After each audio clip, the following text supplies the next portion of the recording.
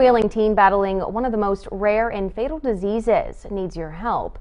Olivia Kikarmio is just a junior in high school, but her life was nearly cut short two weeks ago. Her family says she was life flighted to a hospital in Morgantown and later learned she has been fighting a flesh-eating bacteria she contracted during a dance competition. She's been through multiple surgeries since. While Olivia continues to battle this disease, Quaker Steak and Lube is doing a dine and donate for Olivia and her family. You never know when it could be used, so we try to help everybody out we can. If you come up Tuesday from 4 to 9, we're going to give 20% of our food donations to the family.